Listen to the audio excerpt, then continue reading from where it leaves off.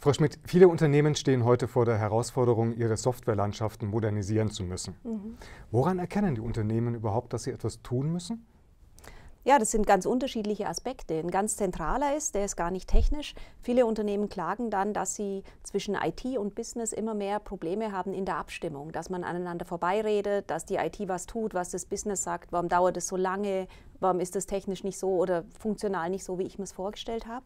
Also einfach so eine, sag ich mal, Abstimmung, die immer mehr zu Problemen führt.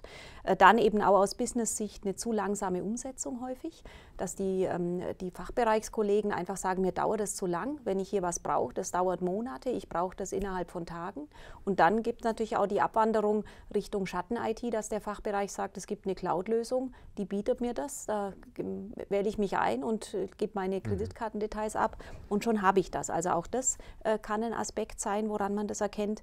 Ein wichtiger weiterer Aspekt sind Trends in einzelnen Branchen Richtung Standardpaketen oder auch Plattformen. Gerade im Versicherungsumfeld, ähm, aber auch in anderen Branchen, in der Logistik, äh, gibt es immer wieder, sag ich mal, Trends, wo ich mir dann als Unternehmer eben überlegen muss, was entwickle ich noch in-house selbst und wo macht es auch Sinn, auf solche Standards, Trends im Markt aufzuspringen. Und dann habe ich natürlich auch die Herausforderung, was bedeutet das für meine eigene Landschaft? Ich muss ja dann intern was zurückbauen, um solche externen mhm. Möglichkeiten zu nutzen.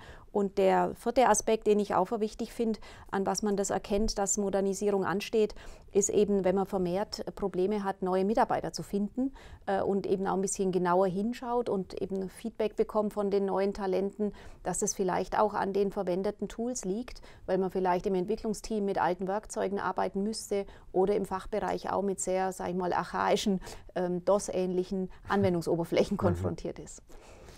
Wenn die Unternehmen jetzt erkannt haben, dass sie in ihrer Softwareentwicklung ja, und Bereitstellung etwas verändern müssen, was sind die großen Herausforderungen dabei? Ja, also die Herausforderungen sind ja immer, wenn man in einer Situation ist, wo man das Gefühl hat, hier habe ich einen Handlungszwang, ich muss was tun. Das Gras auf der anderen Seite des äh, Flusses erscheint mir grüner ähm, ist schon mal ein guter Impuls. Ja? Und viele erleben das auch so. Jetzt, ich müsste was tun. Und dann ist aber immer die Frage, was muss ich jetzt eigentlich genau tun mhm. und was passt für mein Unternehmen? Und ich muss auch noch mal ganz genau wissen, von welcher Ausgangssituation starte ich. Ich vergleiche das immer gern mit einer Urlaubsreise. Wenn ich weiß, ich möchte nach Mailand in Urlaub, ähm, und weiß aber nicht, ob ich in Hamburg, München oder Berlin starte, wie will ich dort eine gute Planung hinbekommen? Das geht eigentlich nicht. Und wir erleben es so, dass es für viele Firmen gerade mit so gewachsenen Landschaften große Herausforderung ist, überhaupt erstmal den Ist-Zustand zu durchblicken, also zu durchdringen, mhm. weil eben viel Fachwissen schon abgewandert ist, die Komplexe sehr komplex, also sehr die Prozesse sehr komplex geworden sind im Laufe der Jahre mit vielen Sonderlocken, wo man natürlich auch dann die Frage stellen muss, brauchen wir all diese Sonderlocken? Machen die uns wirklich erfolgreich? Oder haben wir es auf der einen oder anderen Ecke auch ein bisschen übertrieben? Und es braucht halt nicht den 125. Tarif, sondern vielleicht tun es 75 auch. Mhm. Und um das eben festzustellen, ist es absolut notwendig, und das ist auch die Herausforderung, wirklich eine vernünftige Ist-Aufnahme zu machen, bevor man sich überhaupt überlegt, wohin die Reise geht und in welchen Schritten man vorgeht. Ähm, ein weiteres wichtiges Thema kommt auch so ein bisschen aus dieser Erkennen-Ecke, die wir zuvor ja abgefragt hatten. Ähm, Nochmal dazu, wir merken oft, wenn ich heute Software modernisiere, dann ist es nicht mehr nur ein technisches Thema. Vor ein paar Jahren ging es oft nur um Kostensparen, auf andere Plattformen ein Paket zu migrieren und so weiter.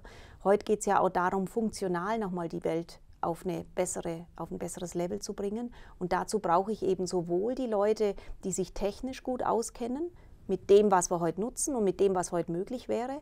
Aber ich brauche natürlich auch die Leute aus dem Fachbereich, die das Business kennen, die die Prozesse kennen. Und die Herausforderung dann oft bei einer Modernisierung ist eben, ich muss es jetzt schaffen, dass Leute mit einem starken IT-Background, mit Leuten mit einem starken Business- und Markt-Know-how so zusammenarbeiten, dass sie mhm. nicht aneinander vorbeireden.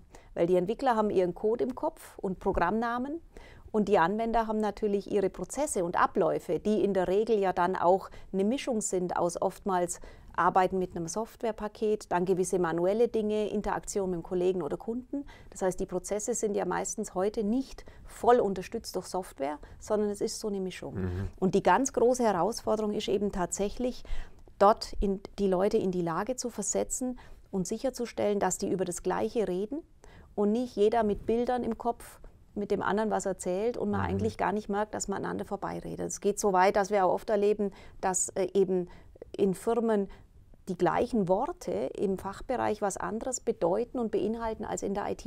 Und wenn ich sowas habe im Unternehmen, dann ist eigentlich klar, dass das nicht funktioniert. Ja, mhm. Die werden aneinander vorbeireden und dementsprechend wird der eine äh, unzufrieden mit dem anderen sein.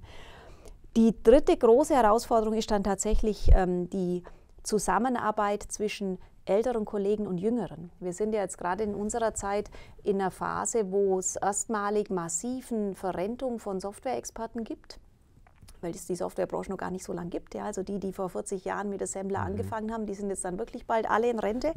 ähm, und die Jungen kommen jetzt so neu dazu.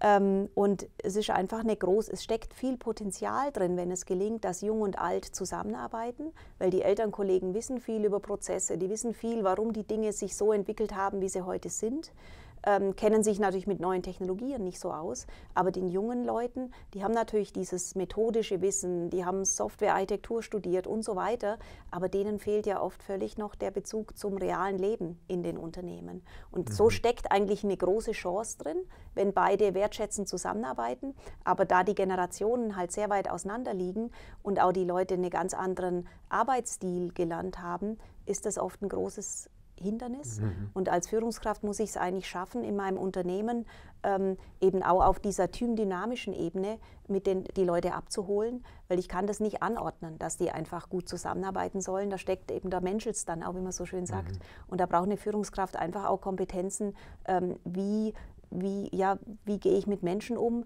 die so aus ganz unterschiedlichen Sozialisationen kommen.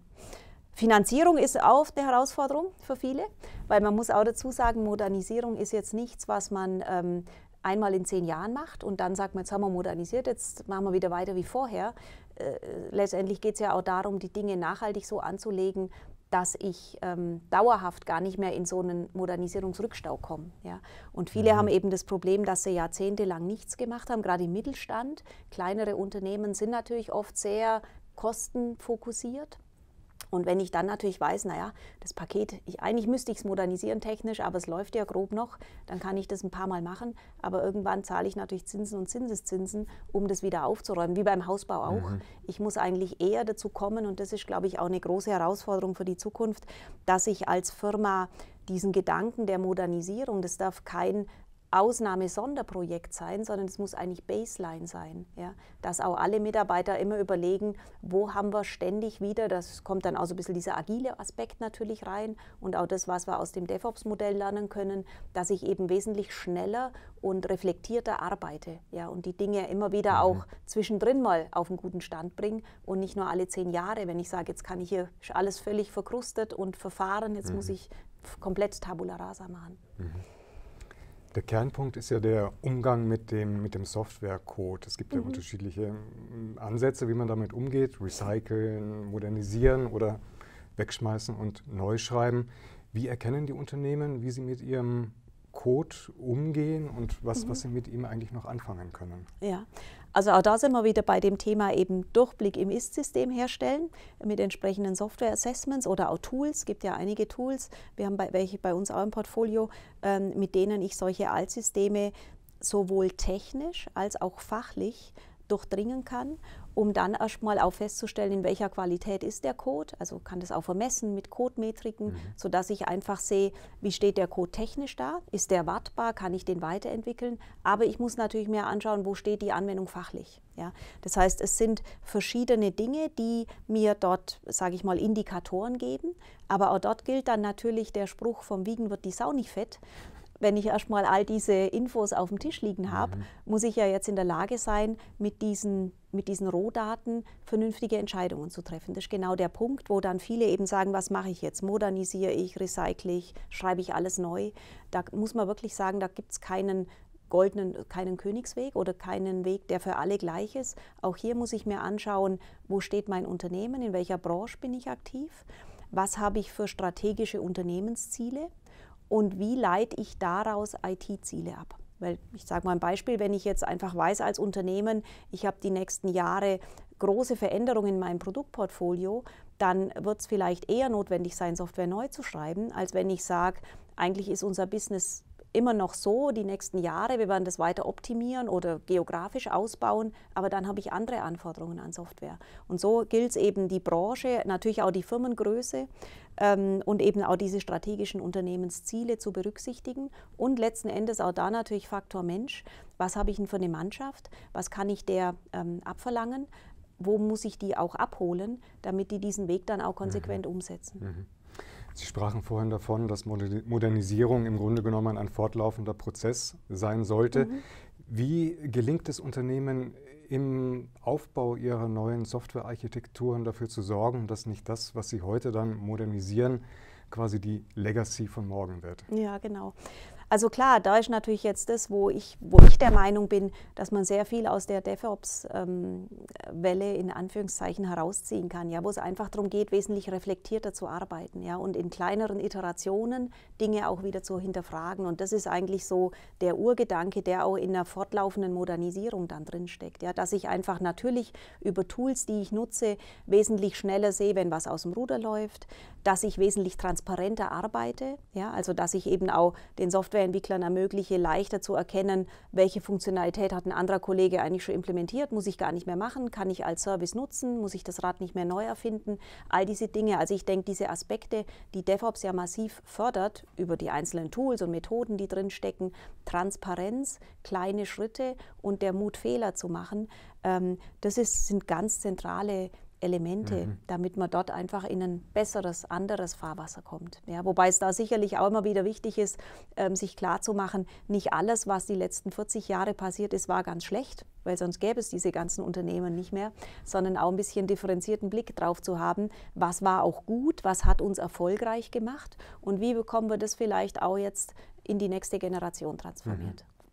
Was sind so für Sie die wichtigen Kernelemente einer agilen, einer DevOps-Organisation, ähm, sowohl aus einer technischen wie auch aus einer organisatorischen Perspektive? Ja, also rein technisch würde ich natürlich sagen, ist es eben wichtig, dass man wegkommt von sehr monolithischen großen Systemen, wo Businesslogik, Datenbank, User Interface, alles in einem Programm mhm. zerknubbelt ist und sich keiner mehr auskennt. Also da ist eben bei vielen Firmen ja im Moment auch die Programme so aufgestellt, dass man modularisiert, entkoppelt ja, und einfach in kleineren Baukästensystemen denkt. Das ist wichtig. Businesslogik auf einem stabilen Fundament. Da erkennen ja auch immer wieder mehr Unternehmen, dass diese klassischen Mainframe-Systeme durchaus ihren Vorteil haben zum Thema Sicherheit, zum Thema Transaktionsvolumen, sodass ich dann eben im Frontend, wo sich sehr viel tut, wo ich immer wieder andere Dashboards und Anwendungen brauche auf Basis derselben Daten und Businesslogik, dass ich dort flexibel bleibe. Also eher Stabilisierung im Backend und eben eine Modularisierung mhm. und Entkopplung der Komponenten, sodass ich im Frontend eben einfach sehr beweglich bin und mich an die Anwender anpasse. Also das wäre mal so technisch, sage ich mal, das Wichtige.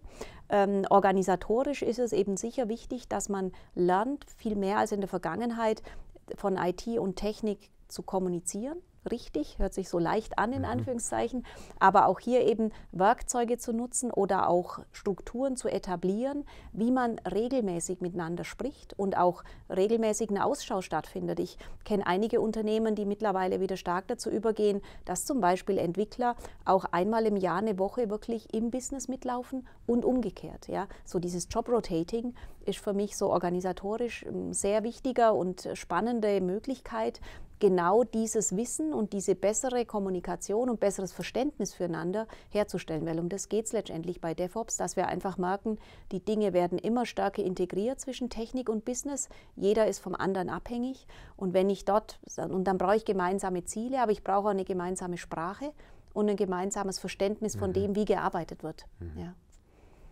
Spannende Einsichten. Vielen Dank. Danke Ihnen.